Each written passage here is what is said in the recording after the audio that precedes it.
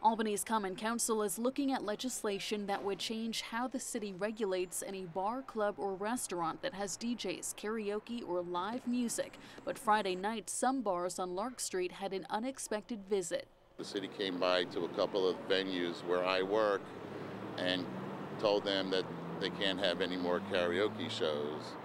From there, DJ Michael Kahn lost a few jobs, like Monday night's karaoke set at Elda's on Lark. We spoke to the owner there, who said when she questioned city officials Friday night, they told her. They tried to work on some kind of law to have some kind of um, license. They stopped in at Elda's and uh, there was not, you know, there's not an authorization for live entertainment there. And my club can't even go to the city right now to get a cabaret license because they don't yet exist. I mean, the law hasn't passed yet.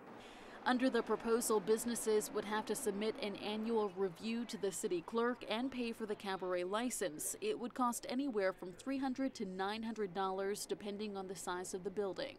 What do you say to small business owners who say this is just another way for the city to bring in extra revenue? Oh, it is certainly not about the money at all. Council President Carolyn McLaughlin wouldn't expand on how much the city stands to gain from the licensing fee, but Elda Abate says customers will feel the pain in their wallet. Everything when we have a fee as a business owner is a pass to the consumer. Council members want to hear more from residents and businesses. They expect a vote in March. In Albany, Casada Edwards, CBS 6 News.